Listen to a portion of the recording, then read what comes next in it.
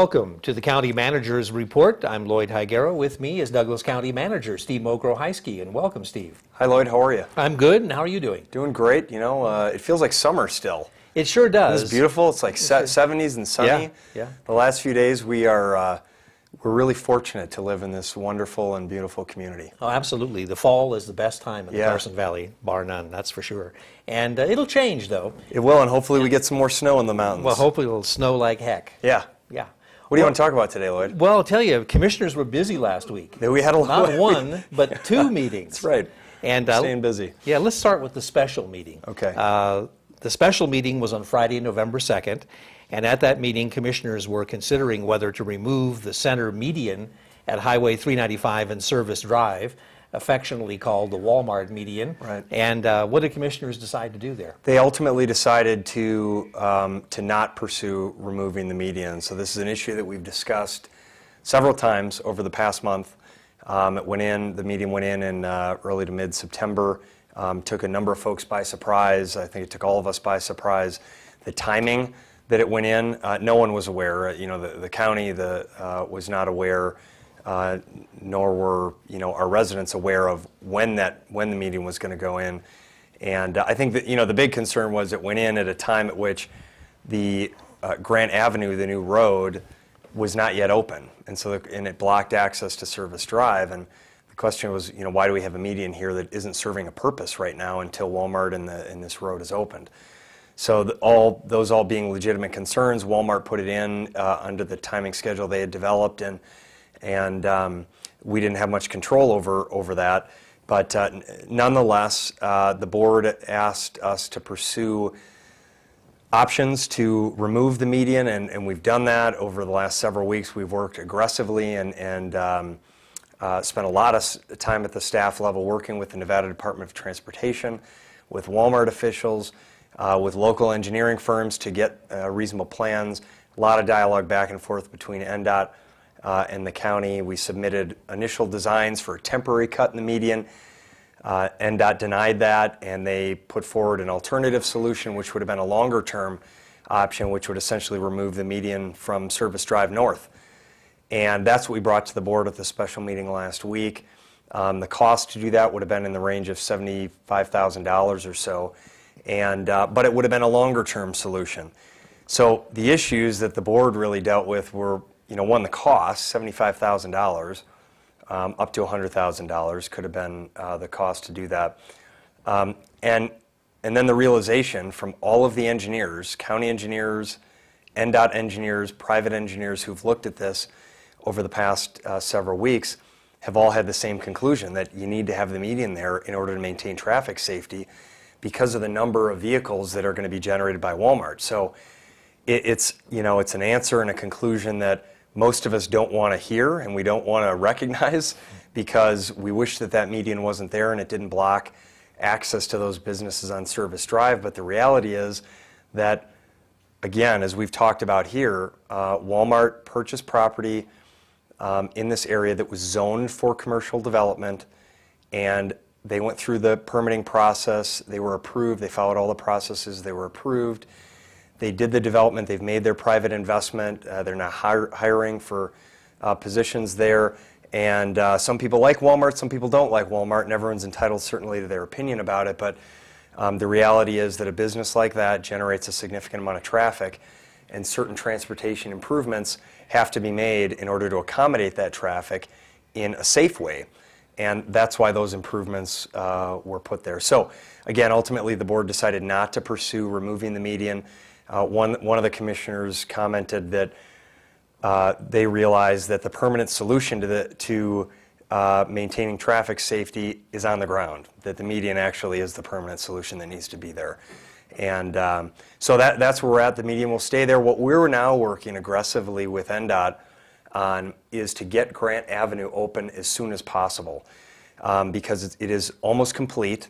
And then Carrick Lane, which is the uh, street that will connect Service Drive and Grant Avenue, um, it, once that is complete within the next few weeks, we want to get Grant Avenue open to traffic as soon as possible because we think that will help those businesses and, and their customers uh, gain access to them.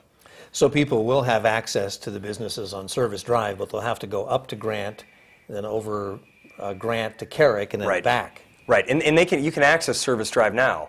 From the north, you can access it from Southgate. Right. So if you're going 395, you can access Service Drive from, uh, you know, going north, you have direct access there. Sure. Um, if you're going south on 395, you can go left onto Southgate.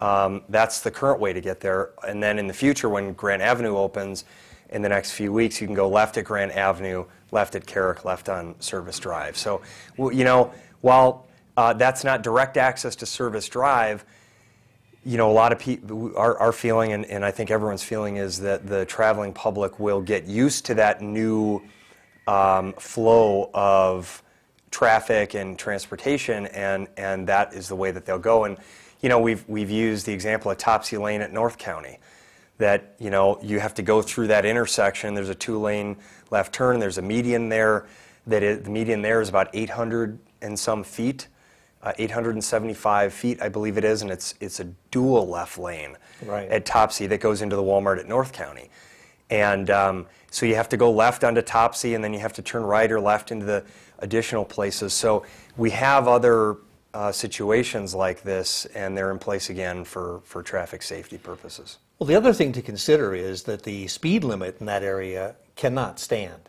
at 55 miles an hour. I mean, with a business that attracts that many people like Walmart does, the 55 mile an hour speed, speed limit probably is going to have to be lowered. Yeah, that, that's I, we I agree, and, and I think. But that has know, to be studied. I mean, NDOT doesn't said, just do it like that. That's it. And we've, I've had many communications with the new NDOT director who has been very responsive um, and, and trying to work with us.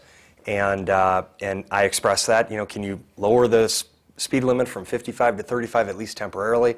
They've said, no, they can't do that because it would violate their internal policies, which is they need to do a speed study and they take the 85th percentile of what the traveling public actually, the speed they actually go in those areas, and that's how they set it. Uh, recognizing that in, in NDOT's view, you, can't artificially establish a speed limit in an area at lower or higher than the traveling public actually goes um, because people won't abide by that. So you have to, you know, go by the, the character of what people actually do.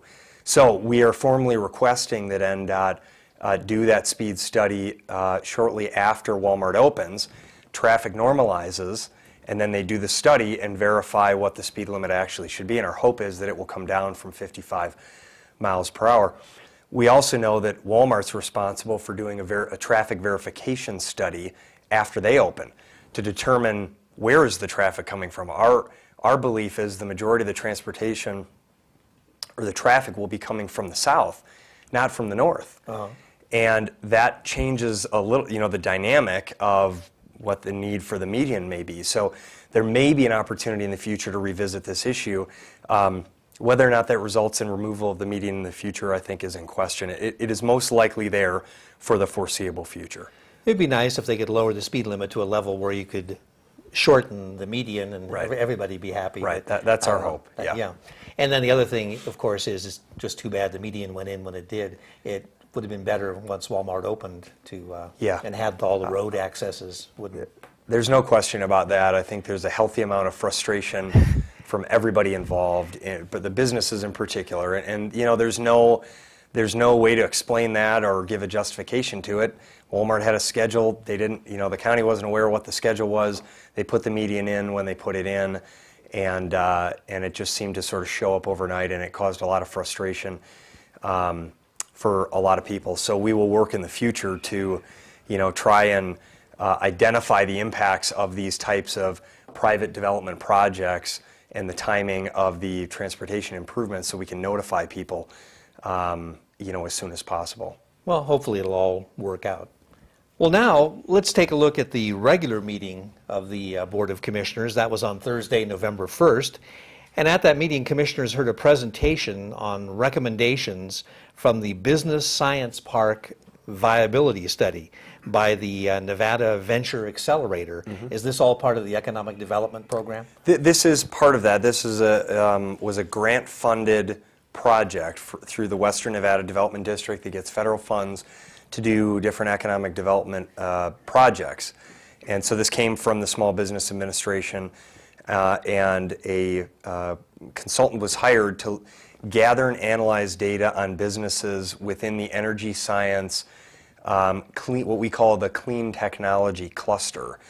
And they conducted interviews, they organized uh, manufacturing capabilities, and determined the need for a physical park and other recommendations on that. So, some really interesting um, conclusions and information were identified as, as part of this study. First of all, that Douglas County has some world leading technology businesses here that are uh, far and above the, uh, the, the number of these types of businesses are far and above uh, the number of these types of businesses that are anywhere else in the state of Nevada or around the country. Interesting. So we're very unique in this area, and I'll give you the three examples of these high-tech businesses. They're in the area of manufacturing uh, instruments for measurement and control. So businesses like GE, Sure. w- that is now calling itself Bentley Nevada again, they manufacture these uh, uh, devices for uh, these instrument devices for measurement and control for businesses. World leader in that. And there's a measurement for this called the location quotient, which identifies how strong your community is in that type of business compared to other communities around the country. We're a 100. If you're at zero, you're about equal to everybody else. We're at a 100, so we're off the charts in that uh, type of manufacturing and technology uh, across the country. The second area is in manufacture, manufacturing of precision components. Um, and this is a business like ANC Precision that is uh, located here in the Carson Valley and at Lake Tahoe. And they do things like manufacture precision control devices for precision uh, instruments for uh, military aircraft, for the healthcare industry. Um, and so, and again, a really unique business here. And the third is in the area of canvas engineering, North Sails Sure. which uh, designs and manufa- engineers, manufactures sails for high performance um, uh, yachts and, and, uh, and, and other types of uh, boats and, and uh, uh, equipment. And so these businesses um, are really a unique thing for Douglas County and for the Carson Valley to have. We have over 1,800 high tech jobs that fall into these three categories and over $111 million in annual wages. So the average wage is, in, is something in the range of $63,000 per employee per year. So it's a really good paying job, uh, jobs in our community. And so the goal of this was to identify those technology clusters and then identify what are some strategies and actions to boost those sectors up to make sure that they're vibrant, that they continue to grow and thrive, and we have other businesses that can relocate here and expand that are complementary to those technology clusters. So the action items identified included utilizing the existing land and building space that we have to meet the needs uh, of those businesses. We have over 1,200 vacant acres of Acres. acres 1,200 acres of vacant land that is zoned for industrial development that has not yet been developed. $2.8 million of existing square footage in the Carson Valley um, that exists uh, for industrial purposes. Um, the second area of actions is transportation and broadband infrastructure needs. We hear this routinely from existing businesses the need to improve transportation capabilities and access to high speed, low cost broadband. The third area is education workforce development. Pro- You know, I think one of the most critical areas generally for our local economy is having a skilled workforce that can take on these types of high paying, high tech uh, jobs that we have. And then the fourth area is supply chain innovations, recognizing that in some cases we may have businesses that exist locally that manufacture products that these other high tech businesses use to manufacture their goods. And so we're trying to identify opportunities for existing local businesses to purchase some of their services and supplies from other local businesses first before they look outside the area. So those are all the action areas, and I think we've got a, um, a really exciting cluster that we can focus on, we can market and promote, and continue to enhance, that area because I'll tell you, they are great, uh, well-paying jobs that you know are here to stay, and it's it's a unique uh, niche for our area. Oh, very good. Good news indeed. Um, another presentation that the commissioners heard was from the BLM, Bureau of Land Management. That was on the uh, Carson Valley Discovery Trail in the Pine Nut Mountains, and that's both in Carson and Douglas counties. Right. How's the progress there? Right, there's really good progress. The um, Carson Valley Trails Association and the Bureau of Land Management, as you indicated, have taken on the lead role here. This would be a new 45-mile non-motorized hiking um, and uh, mountain biking and equestrian trail. Great. Not, so non-motor, any, any non-motorized uh, activities uh, would be allowed on that trail system. And it would span the west side of the Pine Nut Mountains between Carson and, and Douglas counties. And it, the entire area is on Bureau of Land Management and National Forest Service land. So there's no private property involved. It's all federal land. Um, and it's been, this has been an effort over the past five years by the Carson Valley Trails Association to uh, expand the network of trails in our community. And this is the same group that has developed the Fay Luther Trail and the Genoa uh, Foothill Trail System, um, which, you know, if you've been out there, you know they're outstanding hiking, biking, equestrian trails. If you haven't been out to the Foothill, uh, Genoa areas, there are just some wonderful trails there. And so this is an expansion of that on the east side of the Carson Valley uh, in the Pine Nut Mountains. So they're now, um, this is also consistent with our economic vitality program and the, uh, the county's tremendous trails uh, uh, champion team that we've developed to focus on expanding this network of outdoor recreation and trails in the community. So BLM and the Carson Valley Trails Association uh, are beginning a 30-day public scoping period um, that started about a week ago, and they're looking for feedback from the public on on that trail system so that they can incorporate that into the uh, final design and implementation. So if any, anyone interested or has comments or wants to hear more information, contact the Bureau of Land Management at 775 885 6004. Okay, very good, very good. Uh, Commissioners, at their meeting on November 1st, uh, they approved an ordinance from Sierra Nevada Southwest for a zoning map amendment and some other zoning things along with that for the development that they're proposing for uh, the new Walmart store, in front of the new Walmart store in Gardnerville.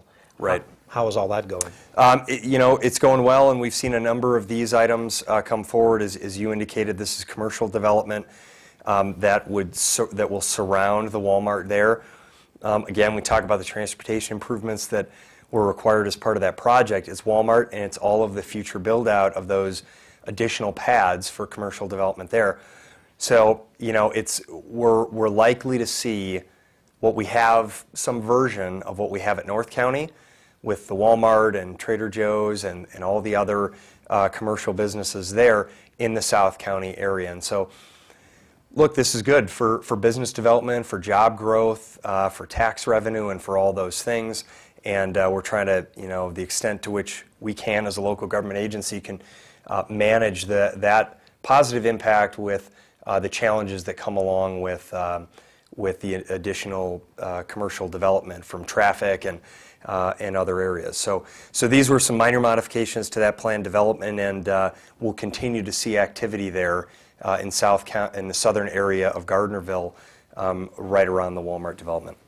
Okay, there were several uh, community development projects, and uh, another one was a request from the ranch at uh, Gardnerville. This was for a zoning map amendment, and commissioners approved that. They did, and we've seen, again, this is a project that we've seen a, a number of modifications that have come back. The project was approved uh, several years ago, but we've seen some modifications. It was a 2004 plan development, and uh, so the, these modifications reduce the setback requirements, um, smaller lot sizes, and, a, and an extension to the development schedule. So, you know, some, some uh, uh, continued changes to that development project, and we see that with uh, the challenges both in the residential and commercial development um, areas. Uh, there continue to be requests for some changes to uh, uh, allow for flexibility in, in, uh, uh, in the economic conditions that we have today. Right, well, we've talked about uh, that and the uh, Sierra Southwest quite a bit. Right. In the, uh, We have, past, yeah, it's come up several times, yeah. Yeah.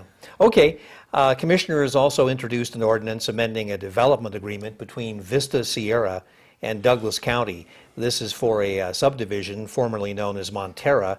And does this mean this project hopefully will get completed now? Well, that's the hope. that the Um, You know, direction? part of the, the uh, amendment to the, devel- to this project was an amendment to the development schedule and the obligations regarding the timing and completion of portions of Muller Parkway uh, and Hayborn Road. And so, you know, the, the schedule was put, was pushed out about three years uh, for the majority of the project. There's a new owner um, that's taken over here, and uh, we look forward to, you know, with new ownership comes a new perspective, um, new uh, private investment, and hopefully a desire and the ability uh, to make some activity happen there um, uh, sooner than would otherwise have been the case under the prior owner.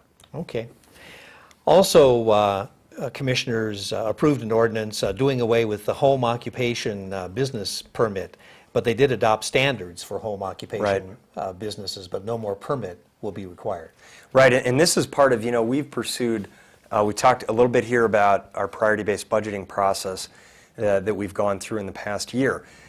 This effort to eliminate the permitting requirements for home occupation businesses came from our effort at the staff level to look at implementing this new priority-based budgeting system, which is designed around shifting the um, discussion during the budget process from across-the-board cuts to investing taxpayer dollars in the areas where they can have the greatest return on investment and value in meeting the community's goals and priorities. So what, what our staff did at Community Develop, Development is they were going through the priority-based budgeting project, they realized, boy, we're spending a lot of time in enforcing home occupation permits, yet home occupation businesses don't generate a lot of code complaints, they don't cause issues for neighborhoods, and it costs us more to enforce this area than the fees that we generate. Um, And so it- it's, it- we're, actually taxpayers are subsidizing us to enforce that area, and to what end? It's not really having a purpose. So our staff recommended, why don't we eliminate the home-based, and- we amended the uh, land use requirements for home-based businesses. So there's still regulatory provisions, it's just that there's not an annual permitting process for these businesses. So what it now allows us to do is take our limited staff and you, put them in areas like um, vacation home rentals, where we've had significant challenges in neighborhoods, particularly at Lake Tahoe, and a, a largely underregulated area that causes issues for neighborhoods, where we're not collecting the tax dollars that should be collected there, and where the legitimate businesses in the vacation rental uh, industry have been pushing us to say, you need to regulate this area because we're complying, but these other folks aren't. So it, that's a win-win, but it's identified through a process of saying, boy, this we're spending a lot of time in an area that doesn't have a value-added uh, proposition. Why don't we shift our resources where we can generate more tax revenue? Uh, we can clean up some issues in neighborhoods, and we can help out the legitimate businesses that are doing that. So we're excited about these types of process improvements and reallocation of taxpayer dollars to uh, have the biggest impact on the priorities of the community. Okay, sounds great. Uh, Commissioners approved a master plan amendment uh, changing property from public facilities to single-family residential in the ranchos.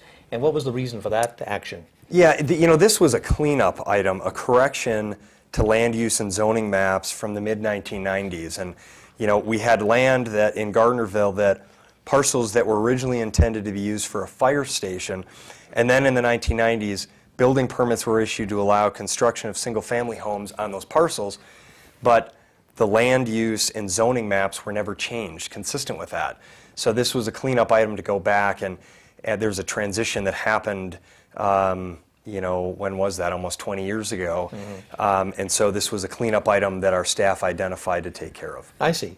Uh, Commissioners heard a report on the uh, 2012 master plan status, and how is the uh, master plan doing? Good. You know. I, I'll tell you, our, our uh, planning staff has done a really nice job in staying on track with this. We do. We used to do annual updates, and now we're doing a status report each year um, on this progress to the board. We just did a 15-year update to our master plan. It's got another five years until we completely revise it. And the, the key priorities, the five key priorities that we're pursuing this year going forward, uh, the implementation, the approval and implementation of the Tahoe, uh, Tahoe Regional Planning Agency regional plan and our local plans within the Tahoe Basin in Douglas County. Uh, Second, the Douglas County Development Code Title 20 update, which a lot of people have been involved and interested in. Hazard Mitigation Plan update, the Community Wellhead Protection Plan, and then finally, the Transportation Element. A lot of discussion about, trans- you know, these transportation improvements in South Gardnerville and and throughout our community. Um, You know, we're looking, we want to look at the level of service that's required in our, uh, through our transportation plan, other requirements, and make sure that they're uh, consistent with uh, current, current and future development. So those will be our priorities uh, with the master plan going forward. You mentioned the TRPA plan uh, coming into place. They're shooting for 12, 12, 12. That's right. And uh, that's going to take some real ad- adjustment there, isn't it? I mean, it's going to take uh, some time to get in the flow of it. Yeah, that. we've been actively involved in that process. Um, One of our commissioners sits on the TRPA governing board. Um, I've been involved with the uh, Regional Plan Update Committee and the Bi-State Planning uh, Working Group uh, Committee to get all those diverging opinions and issues uh, resolved and uh, brought forward. So 12-12-12 is the date that we're looking for the governing board to approve the regional plan. And then we, Douglas County, will begin our efforts to update our local area plans and submit those to TRPA for approval in most likely the second quarter of 2013. So a lot of work still to be done, and this is one, Lloyd, I'm sure that we'll talk more about in the coming weeks and months. Okay. Uh, Commissioners also approved a resolution approving a modified service plan for the Tahoe Douglas District, granting them the power to provide drainage and water facility services, and adopted an ordinance to expand the powers of the Tahoe Douglas District. We talked about this one before, and it sounds like it's making its way through the uh, process. Yeah, it is, and uh, you know, uh, three or four. This is the third or fourth time it's come before our board, Yeah. and so this was the final approval. What it does is the board approved modifying the service plan and then granting the authority to the Tahoe Douglas District to provide water um, and drainage services for a period of four years. So that's the, the window of opportunity that they have to do this, and it's really to allow the Tahoe Douglas District to participate in the competitive process we have going on uh, for uh, operation and management of the county's Lake Tahoe water systems. Try and bring our costs for operation maintenance down by having other public entities bid on providing that service. So we look forward to that process coming forward. How many more meetings is it going to take to make it happen, though?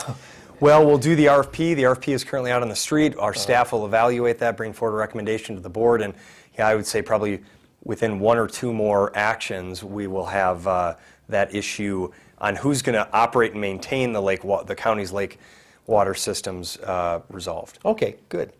Well, this is where I usually ask you about the next meeting of the uh, Board of Commissioners, but there's not going to be another meeting in November. Tell us about that. Right, well, we canceled, there, there's a special meeting on November 13th, which is for the board to canvass the vote. Right. Uh, That's it's the usually very short. Right, it's very short, it, uh, you know, five minutes or less. And it's required within a certain number of days of the election. And so um, November 13th, I, I believe at 9 a.m. is the date that the board will be meeting to do a canvass of the vote. Uh, The November 15th meeting at Lake Tahoe has been canceled because of the Nevada Association of Counties annual conference, which is being held in uh, Carson City. So we will not have a meeting on November 15th at Lake Tahoe. The next meeting will be in the Carson Valley on December 6th, uh, and then we'll have a lake meeting in December as well. Uh, Number of items to come forward uh, at those meetings, and then we'll see if we have, um, what happens as a result of the election, if we have new commissioners or the same commissioners, and um, uh, look forward to the beginning of a- of another calendar year. Okay, great. Well, that's going to wrap it up for us here on the uh, County Manager's Report. I want to thank you for Thank uh, you, Lloyd. being here. County Manager Steve Mokrohisky, I'm Lloyd Higuera, and we'll see you next time right here on the Douglas County Manager's Report.